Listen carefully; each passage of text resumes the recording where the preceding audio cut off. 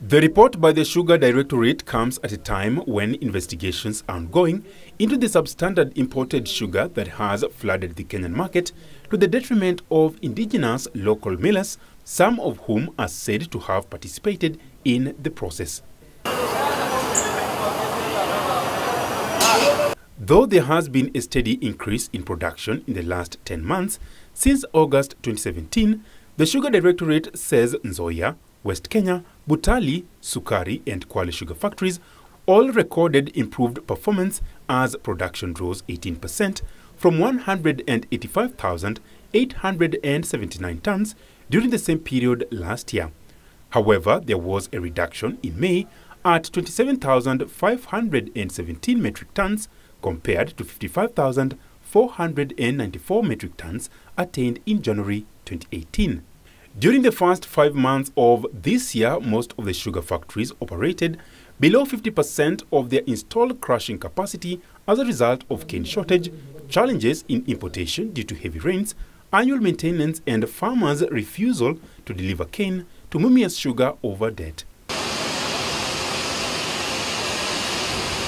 Total sugar sales between January and May surged 13% to 211,000 595 tons compared to 185,815 tons, fueled by higher demand.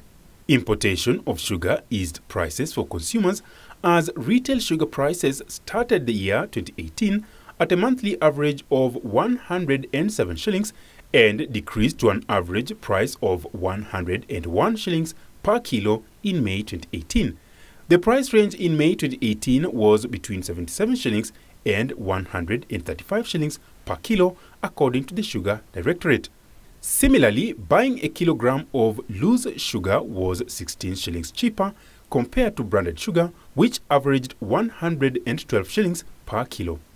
In the first five months of the year, sugar imports totaled 19,081 tons compared to 30,089 tons imported last year.